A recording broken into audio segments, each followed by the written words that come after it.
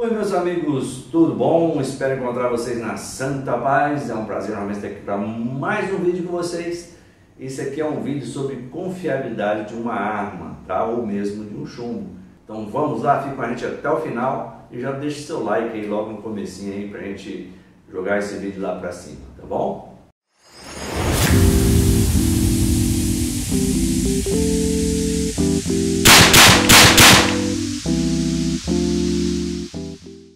Pessoal, claro que eu vou utilizar a caçadora, né? principalmente a caçadora leve, que é o que o pessoal tem mais interesse.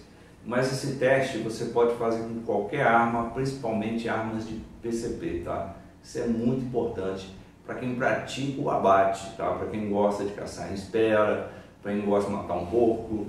Então, o que, que significa esse teste? Esse teste eu faço com todas as minhas armas, com todas, independente se é caçadora, independente se é Sumatra, independente se é Hatsan mas é um teste que vale para qualquer carabina de PCP, tá bom? Mas vamos falar a respeito da caçadora, porque é o que a gente fez o teste. Bom, tá aqui a caçadora, é a caçadora leve, tá? Ela está com um percursor de 3.5, ou seja, o nosso percursor de rendimento de performance. É um cilindro aqui de 140 cc, tá bom? E um cano de 24 polegadas de slug. O que é o teste de confiabilidade? Geralmente, quando você vai fazer um abate, você quer ter certeza de que você vai realmente fazer o abate. Você não vai ter erros. Geralmente, o teste de confiabilidade é você colocar a arma na pressão máxima que ela comporta. No caso aqui da caçadora é 250 bar, mas eu fiz é, com 240, tá? Fiz com 240 e vai até a hora que ela para de atirar. Ou seja, ou ela começa a abrir o agrupamento ou ela acaba não cuspindo o chumbo fora. Então esse é o teste de confiabilidade da arma, ou seja, coloca na pressão máxima e vai atirando até o chumbo não sair mais, ou sair muito fraco, ou não dá agrupamento, ou seja, começa a abrir demais agrupamento. Até porque é, é fácil descobrir isso. Quando ela tem muita pressão, ela vai ter força, ela vai ter desempenho, mas de acordo com que vai caindo a pressão do cilindro, ou seja, vai acabando o ar, os tiros vão ficando mais fracos, tá? Então vai dando uma abertura no agrupamento sim.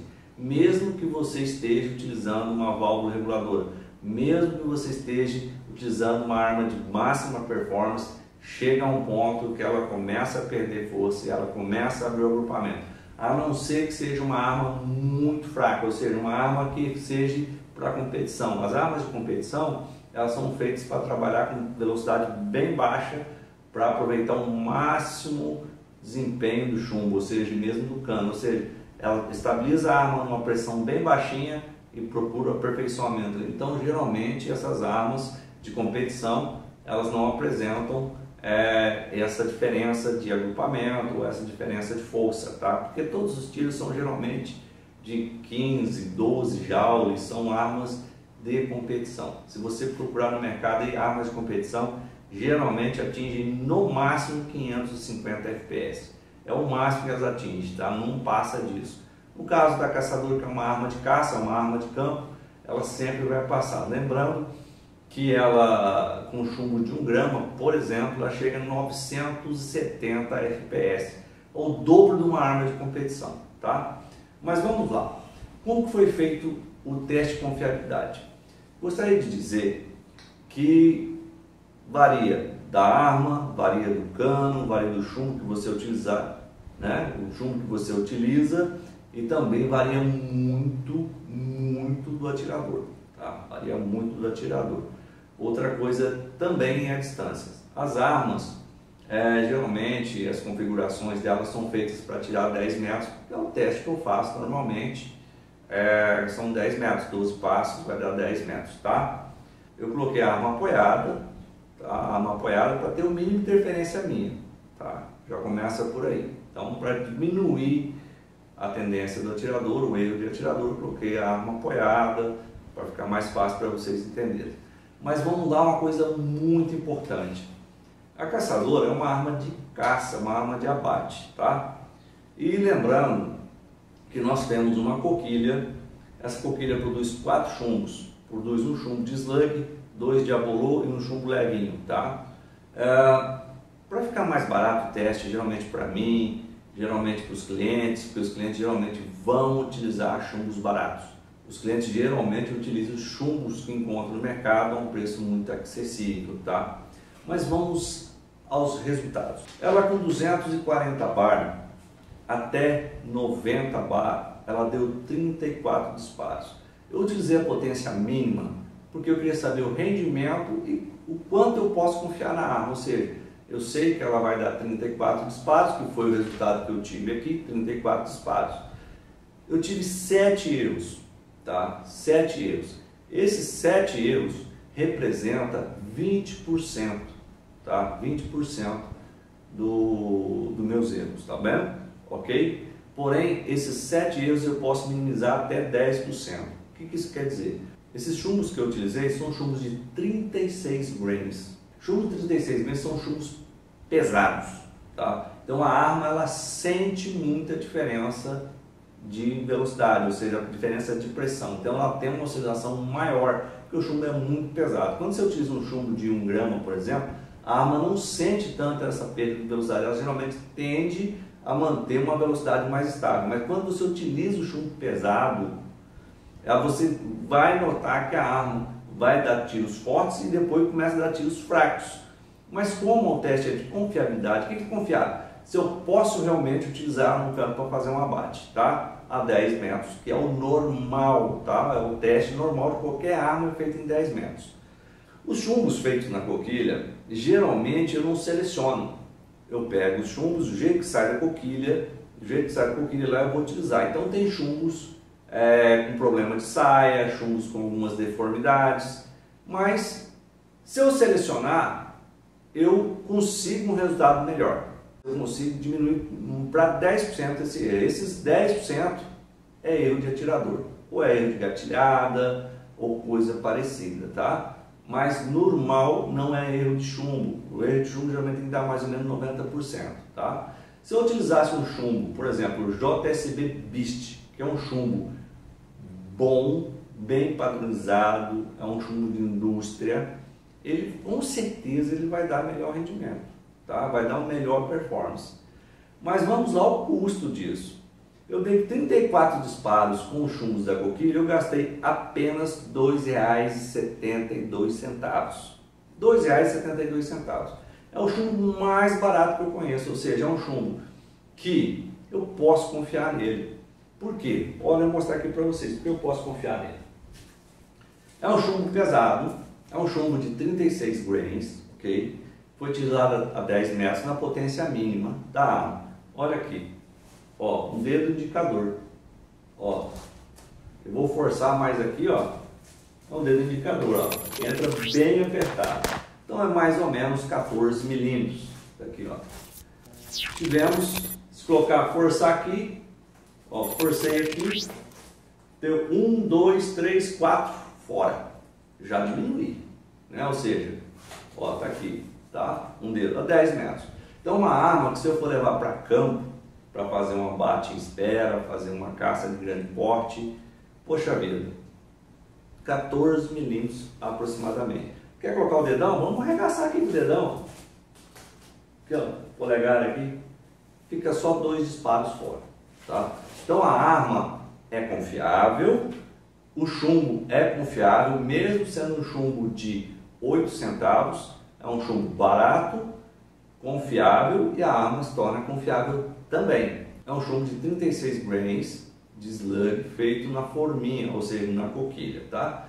Que eu gastei apenas R$ 2,72 para fazer esse vídeo para vocês. Se eu fosse utilizar o JSB Beast, que é de 34 grains, eu gastaria exatamente R$ 37,40. Com certeza faria o agrupamento de um dedo mindinho. São chumbos muito bem feitos, são chumbos industriais, são chumbos de qualidade inegável, tá?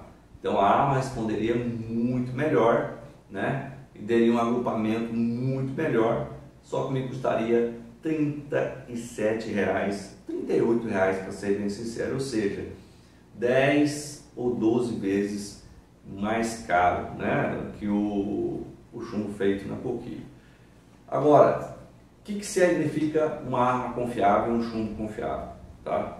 Você pegar uma arma em potência mínima, ela fazer um agrupamento menor que uma polegada né, em 10 metros. Isso é uma arma confiável.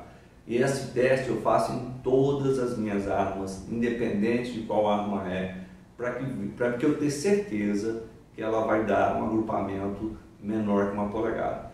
Porque o agrupamento menor que uma polegada, eu sei que vou fazer um abate limpo, tá? Mesmo a arma estando em baixa potência, ou seja, mesmo a arma estando configurada para rendimento e performance, tá? Eu vou ter um abate garantido. Então, tá aqui, ela com cano de 24 polegadas, com cilindro pequeno, percursor de 3.5, me atendeu muito bem. Lembrando que essa arma, na potência máxima, com chumbo de 44 grains, ela dá 91 joules. Ou seja, se eu colocar 250 bar nela e for fazer um abate no animal maior, com certeza eu vou fazer esse abate. Então é uma arma confiável. O chumbo da coquilha tem um agrupamento dentro do esperado que é menos de uma polegada. Está resolvido o meu problema de confiabilidade nessa arma aqui. Então é uma arma que eu posso levar para campo, é uma arma que eu posso utilizar na espera sem qualquer tipo de dor de cabeça, sem qualquer problema. É, quer agrupamento menor do que isso? Seleciona o chumbo. Quer um agrupamento melhor ainda do que isso? Compra chumbo JSB Beast e seja feliz. Né? Então a grande realidade é essa. A arma responde, te dá um agrupamento bom, mas você tem que saber selecionar e tem que saber avaliar a confiabilidade dela. Ah, mas em grandes distâncias, Cléber, olha só, em grandes distâncias, com certeza você vai ter que utilizar chumbos leves, chumbos de no máximo 25 grains, 21 grains, para que a arma consiga, consiga empurrar esse chumbo lá com eficiência. Tá? Mas você não vai fazer abates, por exemplo, de um porco. Né? Porque o porco é grande, é pesado, é de pelo, é um animal de pelo. Então, chumbo, para você fazer um abate num animal desse, tem que ser a curta distância, a 10, 15 metros no máximo. Ah, vou fazer um abate de um porco a 50 metros. Isso é uma ilusão, tá? Isso é uma ilusão. Você pode, pode ser que tenha algumas pessoas que não consigam fazer isso, tá? Mas a chance de dar errado, a chance de dar errado é muito grande, tá? Então, vou fazer abate no porco, vou fazer abate no animal de pelo, tem que ser a curta distância para você ter um abate garantido. Tá? A longa distância, 50 metros, coisa parecida, isso é uma, no meu ponto de vista, é um absurdo. Por quê? Porque o chumbo chegando lá, ele vai perder eficiência e às vezes você não faz o abate do animal, você machuca o animal e não faz o abate, você fica com raiva e ainda acaba culpando a arma ocupando o chumbo. E não é assim, tá?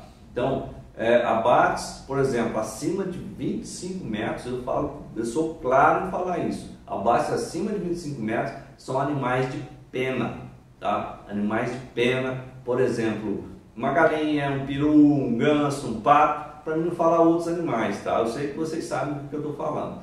Mas animais de pena você pode fazer abates a longa distância com chumbos mais leves que a arma vai te dar um agrupamento melhor, vai te dar uma performance melhor em longas distâncias, não um chumbo de 36 grains que foi desenvolvido para abates a curta distância em animais de pelo, tá? Lembrando também que tem o tamanho do animal, tem animal que pesa 50 kg, tem animal que pesa 100 kg. Quanto maior o animal, mais cuidado você tem fazer o disparo, você tem que fazer um disparo confiável que você vai fazer o abate. Senão você vai judiar no animal e vai passar raiva, né? Mas está aqui, a arma te entrega 91 joules com chumbo de 44 grains. A curta distância, com certeza você vai fazer o abate tranquilamente, sem dores de cabeça, tá bom? Esse aqui é um teste de confiabilidade que eu sempre faço nas minhas armas. Fiz aí para vocês verem como é feito esse teste. Está aprovada a arma, está aprovado o chumbo. Eu estou feliz porque é uma arma barata, potente, confiável e o chumbo também feito na nossa coquilha também é um chumbo confiável e muito, muito, muito barato. Tá bom? Muito obrigado. Fiquem com os disparos, vou colocar os disparos em duas velocidades aí para ficar, ou seja, mais rápido aí, mas quem quiser contar os disparos pode contar. Muito obrigado e até a próxima. Valeu? Chumbo bem feito, olha a saia como é que é bonitinha. Tá vendo? O chumbo é bonito, ó. Olha esse aqui, ó. Tá vendo? Deformado ali. Saia arredondada, ó.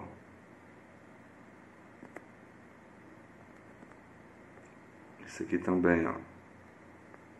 Saia arredondada, tá vendo? Esse aqui também, ó. Ele tá com a saia arredondada e ainda tem um defeitinho ali, ó.